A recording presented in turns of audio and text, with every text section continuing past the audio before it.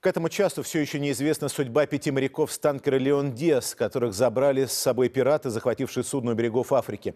Сообщалось, что в числе этих пятерых могут быть российские граждане, но подтвердить это пока не могут.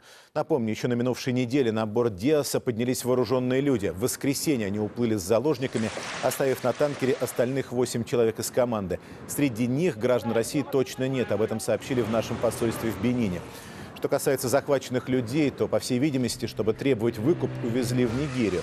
Там действуют сепаратисты, выступающие за отделение юго-восточных земель, богатых нефтью, а также исламисты из группировки Бока-Харам, присягнувшие на верность ИГИЛ.